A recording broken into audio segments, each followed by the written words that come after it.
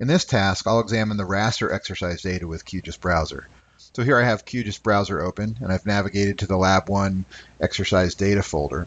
And you'll notice when I have a folder selected in the file tree, the main display window switches to the Params tab, and you'll see all the files and folders in that directory. So this is a very similar view that you would get with Windows Explorer or the Mac Finder application.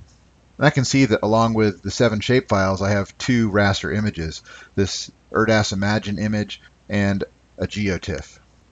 By selecting one of these raster images and activating the metadata tab, I get more information about this data set. For example, I'll see that this is an ERDAS Imagine image file. I can see the raster dimensions in pixels. I get statistics about the pixel values, the pixel size in map coordinate units, the data type, and the spatial reference of the data. I can also preview the raster by clicking the Preview tab.